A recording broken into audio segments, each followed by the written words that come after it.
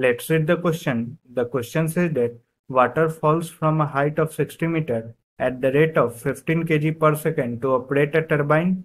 The losses due to frictional forces are, force are 10% of the input energy. How much power is generated by the turbine? Given G is equal to 10 meter per second square. So we will solve this question. First of all, we will see what will be the key concept used to solve this question. The key concept that will be used to solve this question will be power generated that is given by energy by time. Power generated is equal to energy by time.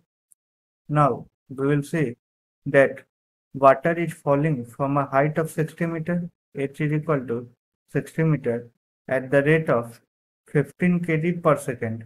So if we take t is equal to, we are taking time at 1 second. So mass will be equal to 15 kg in 1 second. 15 kg of water will fall on a turbine. Now, so energy that is being produced delta E that will be equal to loss in potential energy. This is the energy being produced and that will be due to loss in potential energy at the total mechanical energy is conserved.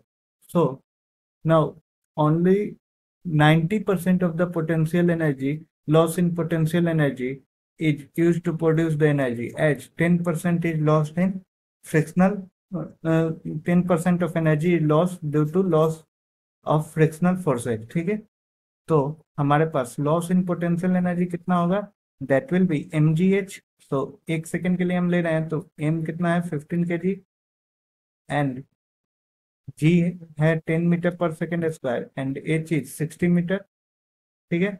Into ninety percent है तो ninety by hundred क्योंकि ten percent energy कहाँ है? Loss हो जा रहा है due to frictional forces और इनपुट एनर्जी ये लॉस इन पोटेंशियल एनर्जी है। So this will be equal to eighty one hundred watt which is equal to eight point one kilo watt अब ये एनर्जी कितना, ये एनर्जी प्रोड्यूस्ड है, ठीक है?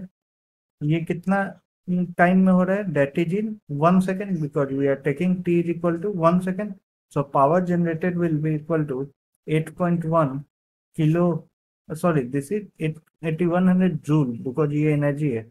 So, this is 8.1 kilojoule so, this will be 8.1 kilojoule divided by 1 और यहाँ पे हम बोल सकते हैं 8100 joule per second 8100 joule per second so, this will be equal to 8.1 kilowatt so जो पावर जनरेटेड होगा that will be eight point one kilo watt which is option A hope you all understood it well best of luck